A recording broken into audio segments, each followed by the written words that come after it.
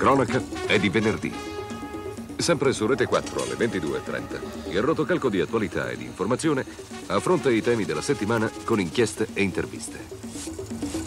Cronaca, per sottolineare i disservizi, per cercare soluzioni.